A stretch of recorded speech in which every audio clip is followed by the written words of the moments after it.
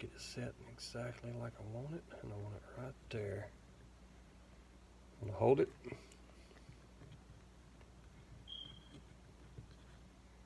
Okay, there we are. See how it looks? Gonna be bugling.